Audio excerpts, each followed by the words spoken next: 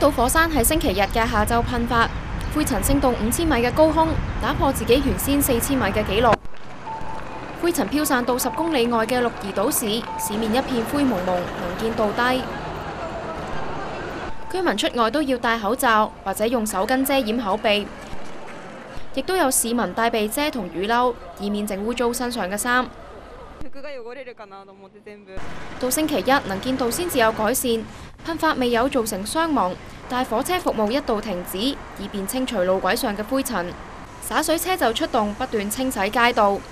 日本氣象廳指，櫻島火山會持續有類似嘅噴發，但相信都只係噴出灰塵同碎石，暫時冇大規模爆發嘅跡象。香港寬頻電視記者陳淑敏報導。